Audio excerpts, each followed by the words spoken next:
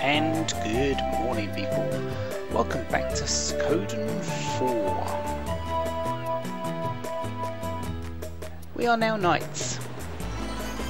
We are now equipped and we are now going to go out on the sea for our first mission. So let's go do that. We have our team, Snow, the main character, Paula and Jewel. Are we ready for our patrol? Yeah, let's go.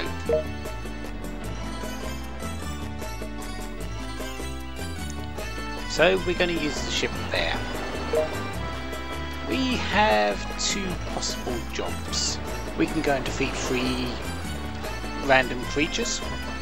Uh, basically we fight like three different fights. Or we can deliver a document to Middleport. Delivering the document is more troublesome but we will make more money that way. That is exactly what I want. The uh, fights, uh, the free fights I will be getting on the way to Middleport. So this way I will get both.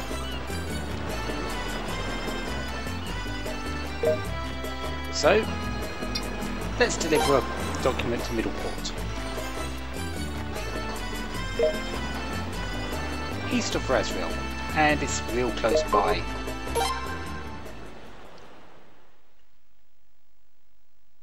That is actually quite true. But this is our ship. And we can now go forward. Let's look at the chart, shall we?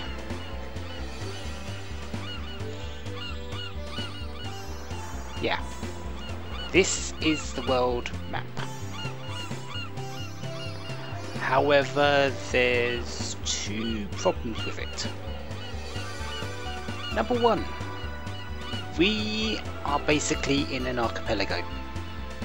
There are lots of little islands dotted around. You can probably see a few underneath the uh, clouds.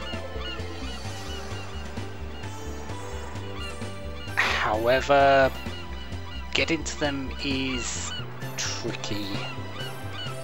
Well, not tricky, it's actually quite easy to get to a place. You can set your direction by pressing the X button, and so you could go anywhere you want.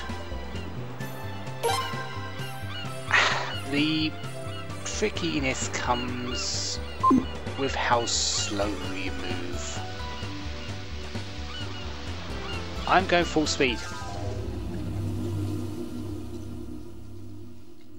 Without any aids. And fights are even more common here and more more randomly placed than uh, fights down that alleyway and on land. Yeah, we're going to be on the sea quite a lot and it's going to be agonizingly boring running between islands.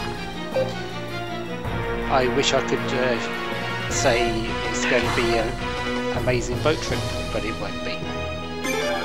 Anyways, these are muddy fish. They are not really that dangerous.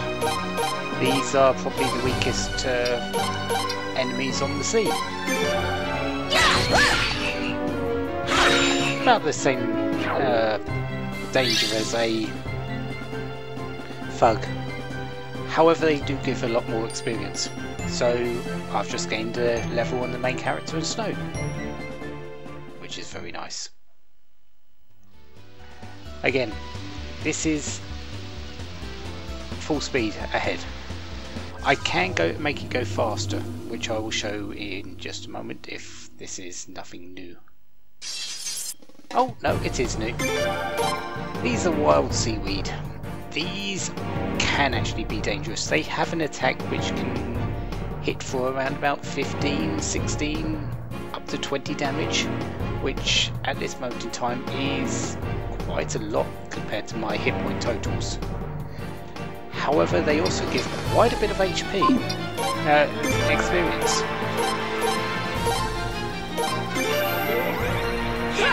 I do believe Let's at least. Go. But I'm not going to pull any punches with these. It will survive these two hits. That attack isn't too bad. If it hits, it only does the amount of a normal hit. It's its special attack where it fires its leaves at you and deals a lot of damage. But this fight's over. They can come in groups of five, I believe, at the most. And you might notice that Jewel and Paula have exceeded the other two in experience.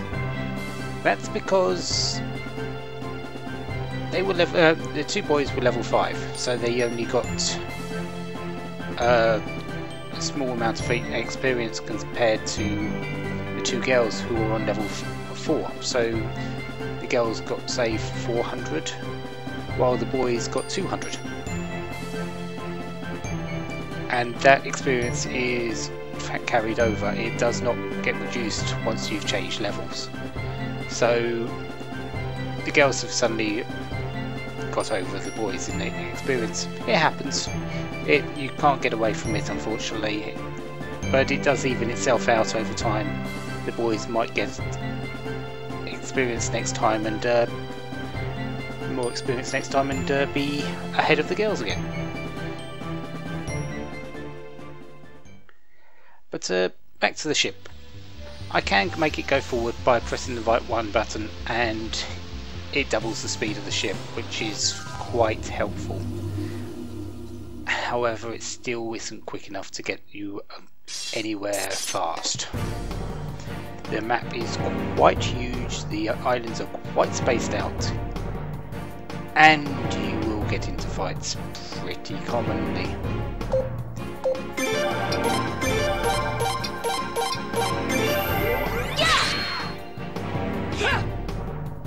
Let's go!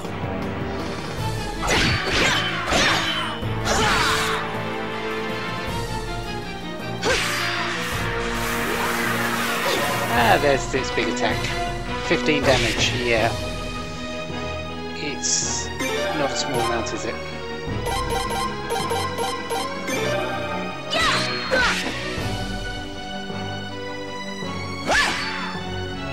But this fight should be over now.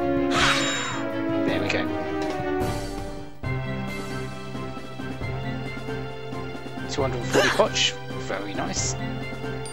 I would like another level before I go back to Razril.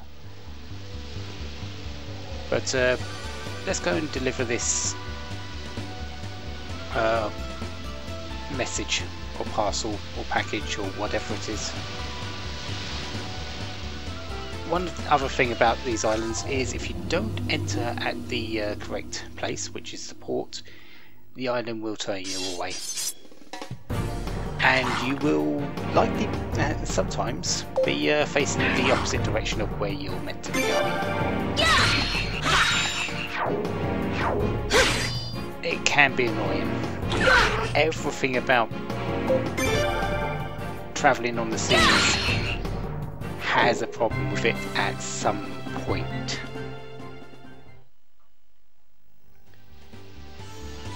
But uh, the port's just over here. We should be allowed to make landfall. So let's land. The first time you go somewhere, you will not know what it is until you have landed. After that, it will tell you each time that you're making landfall at uh, wherever you've landed, so in this case, Middleport. This is the person we need to speak to about the letter. And we get a thousand potch, which is very nice. There are a few things we can do here. We can talk to this guy. He tells you about random deals for this booth here, which is a trading post. We currently don't have access to very much. Actually, we don't have access to any trading post apart from the one here in uh, Middleport. So all, anything I buy here is pretty much moot for quite a while. However, I am going to buy a few things. I'm going to... Uh, actually, not just yet. I will be buying a few things, but um, I want to uh, get a bit of money first. You can actually start making money in this town. This old man is an appraiser. Remember those question mark, mark stuff? This is where you change it into items. Master Graffiti. That I didn't expect. Hmm. And we've got pots. Pot of failure. I'm hoping to get a pot of Razril. There it is. Because that has just paid for every little thing that I am uh, currently uh, appraising here. And that's just given me a nice profit. Remember, I've just cost uh, uh, spent uh, what uh, six uh, hundred, one thousand four hundred uh, potch on that. I need that to be made up somehow. Pots of uh, no, normally the question mark stuff that can be sold for 50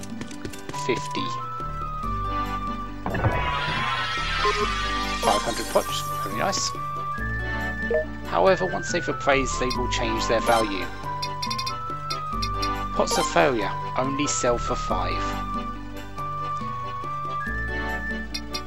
But uh, I might as well sell them. Graffiti also sells for 5, but uh, Master Graffiti apparently sells for 250, so I have made a bit of a profit there. Pots of Razville, though, sell for 750. So I've just made a little bit of profit there. Not much, but it is enough for the moment. This equipment shop sells cough drops. They were available in the uh, in Razril as uh, bargain items, but they're now available as normal items in this shop. That's what usually happens. Bargain items are usually one or two shops ahead of items before, so uh, of the shops. Uh, bargain items are usually items from one or two shops ahead than the one you're currently using. So they are usually more powerful. Scale shield. Uh, yes please. Paula can have that. Uh, anything else? I could buy some more equipment, but uh, the scale shield is really all I need right now because I'm just about to pretty much make a lot of money between this part and the next one. In here is Smithery. The Smithery is where you will go to raise up your weapons. Adrienne, currently just an apprentice. If we're fine with that, she'll strengthen our weapons. Fee at this moment in time is 300. So let's uh, raise the main character's sword. Cost 300. And it's now a level 2 sword. Its attack uh, strength went up by 11, so it's now got an attack strength of 23. And you will notice that the fee has gone up to 600 for the next level. Yeah, this is where most of the money goes. Armor, items, runes, all are quite expensive the, uh, throughout the game, but getting up up uh, your weapon levels really takes the biscuit. You will see later on in the game how high this fee goes. But uh, let's uh, raise everyone's sword once at least. And I will do the second one once I've made my money. I will show you the way hey I'm going to make money in just a bit.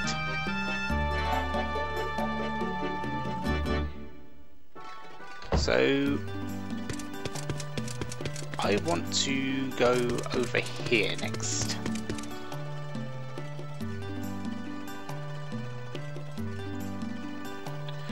And I believe to one side is a chest. Which has a fancy console. Um, can be placed in the room, room apparently. Hmm. Doesn't look like I can do I can do anything with it just yet. But we've got a nice looking mansion. The Lord's Mansion. Don't really need to be here right now because no one's here. Yeah. Absolutely no reason to be here.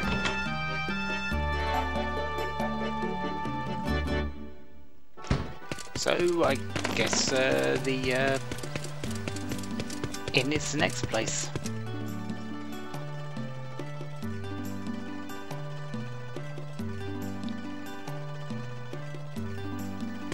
Which is over here, but let's first let's talk to this uh, funny haired lady here. This is Pecola. She is a window master.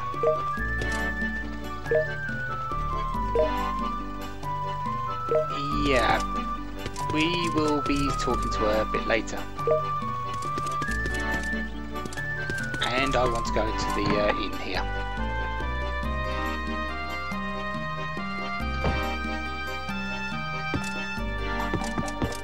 This uh, thing we have Oscar and Deborah. You will notice there's a big pattern with the people I'm talking to they have pictures. Now, speaking of pictures, there should be among all these, one of these pictures here, a uh, treasure map.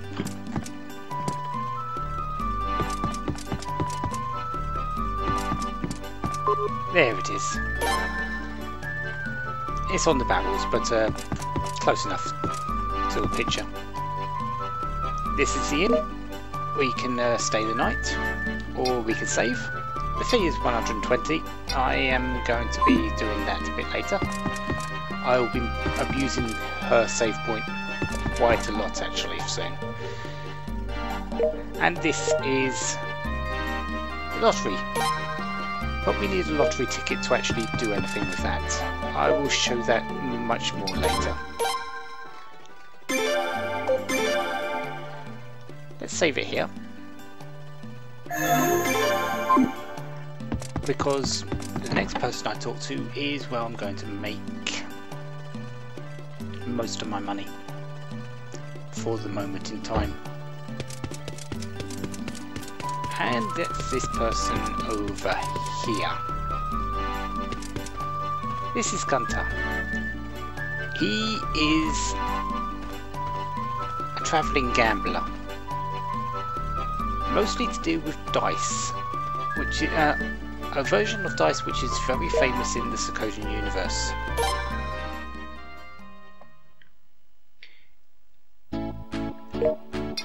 Triple Toss is one of the most famous games in this series. He also has Down to One, so we'll do that one first, which I believe is new for this game. I don't think it's appeared in any others. The rules. Basically, the first one person to get number one on the dice wins. So we will wager the amount of pot, uh, a certain amount of potch. I can go up to uh, 360. but I'm going to do 20. Uh, for any number that is zero uh, is not number one, it will add to the pot. So let's show. If he doesn't get one in the first go, which he sometimes does, no, he got six. So he had basically, he adds uh, six times 10% of the uh, pool, uh, the initial pool, so in this case 12. If the dice goes out of this bowl, it will be considered dead and you will uh, lose. Just like that. So I just lost 20 potch. So let's uh, do that again.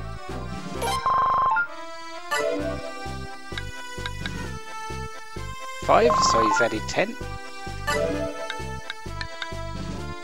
Six, so I've added 12. And it just keeps going until someone gets number one. This is not the best way to make money, unfortunately. Because the amount can be very low that uh, you make. The real money maker is in triple toss. Rules of this game. You have three dice. On the left you will see the rolls that you can get with the three dice, which will make a uh, either a winner or a loser. He rolls first, unfortunately, so there is the possibility that you will not get a roll. If he rolls two uh, two numbers uh, as the same, so let's say he rolls a 2 and a 2, the third dice, let's say it's a 3, will be his score, so he will get 3. I will need to match 3 or get an instant win to beat him. 1, 2, 3 is a lose, instant lose. So if anyone gets that, they will lose twice the amount of potch that was bet. 4, 5, 6 will make, uh, will make you win double. Any triple except for triple 1 will get, uh, net you uh, 3 times the bet. And triple 1 will net you 5 times. So if you get free ones, you win the money.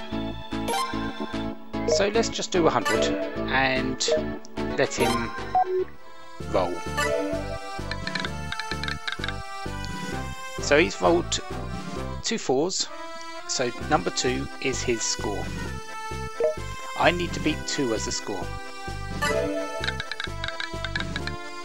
Which I have. I got two sixes, but they don't uh, they they don't count. It's the four that does. So I win 100 potch. Let's see if I can get him to do a uh, get a win. Remember, he rolls first, so it is quite possible that uh, he gets a win and I'd never get a roll. So, at this moment in time, I'm doing quite well. Three, four, five, uh, six, and that's a dead roll. Again, same, if a dice doesn't fall into the bowl, it's a dead roll, and that's an instant lose.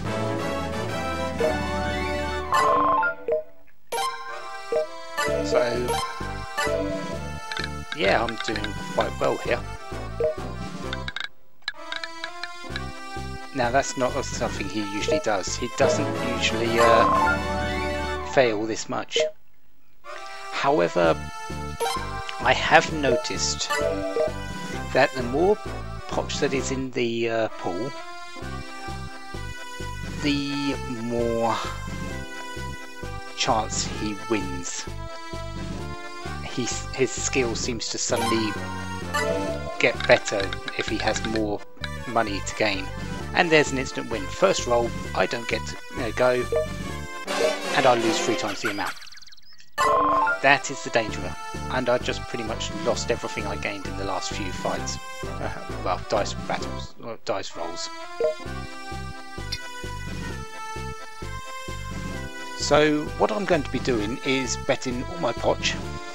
Uh, if I win, I keep it and save. If I lose, I reload and make uh, um, and keep going until I win. I will probably be back with about 30,000 potch.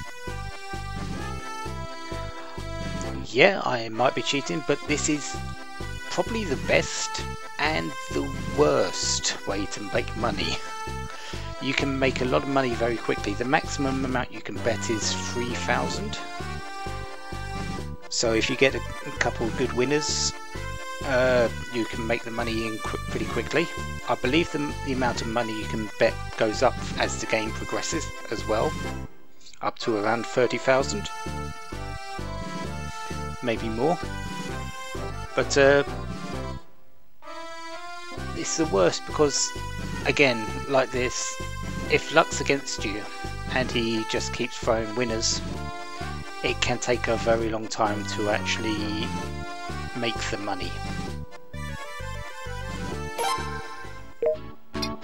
So that's what I'm going to be doing between the this part and the next one.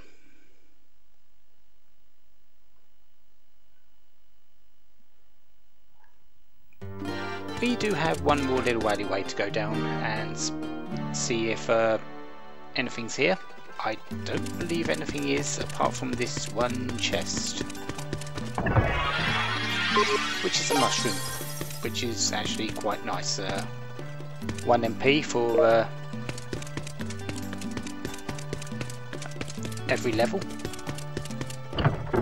And this is an empty house. There's actually nothing in here right now at all. Yeah, So next time I will be back with money. I will have everything bought. I will. Uh, I will pretty much done by shopping for the next four hours of gameplay, and uh, yeah, I'll be ready for whatever the game throws at me after that, which is uh, quite a lot actually. So, next time. It's more Suikoden 4.